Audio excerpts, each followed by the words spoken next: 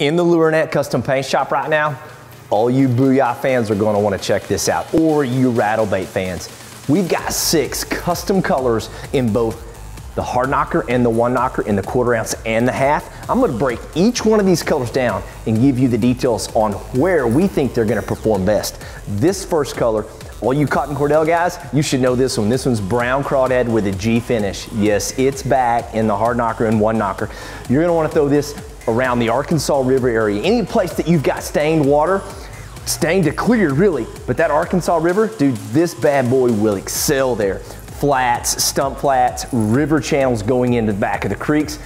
Pre-spawn time is the time for this bait right here and this color. Guys, you're gonna wanna check this color out too. This one, never been done before. This is the G finish in a red pattern. Yep, we wanted something for those grass lakes like Rayburn, where that water's super cold in the pre-spawn, where they're really keying in on red. And did I mention it's in the G finish too? This color might be the wildest color that we have in the bunch, but I promise you it's gonna catch them. This is called Graffiti Crawl, and it's got so many unique features.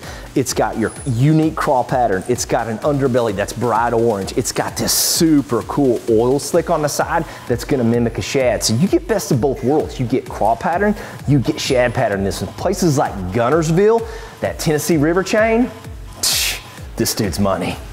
This next color, was a favorite around the office and the staff. This color is called Party Craw. This bad boy's gonna excel in clear water, whether it's stump flat, grass flat, open water, it doesn't matter. This thing's gonna catch them everywhere. We've got this dark orange with a hard black craw pattern, purple underlay with gold. This color is absolutely dynamite. This next color's so freaking clean. Dude, dude, you Florida boys, rejoice in this one. This one's called Goldie. Man, this bad boy screams Florida. It doesn't matter if it's St. John, Okeechobee, wherever you're at that you've got grass and that gold pattern prevails, dude, this is it. Subtle gold on the side fades to orange. Dude, this back in that gold smoke scale pattern is absolutely going to crush them. I'd love to say that we saved the best for last, but I think we might have with this color right here, bulletproof gill. Dude, this color is gonna kill it in high pressure lakes like Fork. Anywhere where you've got clear to stained water. Sunny skies, pick this one up. You've got a really cool chartreuse pattern, nice chrome finish on the side, and a killer copper pattern on the back with the sidebars. It's gonna mimic a perch, a shad, either one, it doesn't matter. This is bulletproof gill.